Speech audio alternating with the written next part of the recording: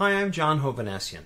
A really important concept when you're preparing for your Eagle Scout service project is to think about what you're going to use as your elevator speech to describe that project. Now, the idea of an elevator speech is not familiar to most kids your age, but it's a really important concept.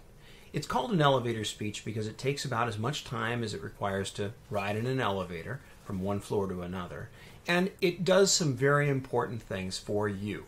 First, it takes just about a minute, but gives the basics to the listener about what you're trying to get across. In this case, get them uh, to understand your Eagle Scout project. But more importantly, it's designed to get them engaged and excited about helping you. That's what you want after all. A couple of tips for putting together an elevator spe- speech, whether it's for your uh, project or another effort. First, start with why people who want to help you want to understand why they're going to help you, not just what you're going to do. I'll give you an example in just a moment. Um, also, include only enough details that they can understand the big picture without needing to understand the details.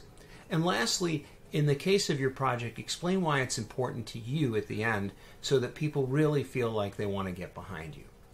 Let me give you an example of two different elevator speeches for the same Eagle Scout service project, and you see which one you like better. All right, first, uh, we're going to start with the basic without the elevator speech principles. I'm going to build a bench along the Laguna Coast Wilderness Trail. That's it, that's the speech. Now, the elevator uh, speech style. The Laguna Coast Wilderness Trail hosts almost 10,000 hikers every year, and they come in all shapes and sizes. They just want to enjoy the outdoors, but many of them need a place to rest when they get to one of the higher peaks. We're looking to build a rest station at that higher peak so that people can enjoy a nice, comfortable bench, where, uh, which doesn't exist now, which we're going to build with the help of my fellow scouts. Once it's done, Anyone who hikes the trail will have a chance to enjoy a beautiful view of the wilderness they've come to visit and rest themselves uh, thinking about the scouts who serve them and serve their community. So, you see the difference? One tells you why, and it's lavished with a little bit of extra language to get people excited about it, and that's okay. Uh, but it gets people to understand not just the what, but also the why. Now, an elevator speech is important not just when you're getting your Eagle Scout service project done. There's lots of places in your life that you may use them. And here are some to think about.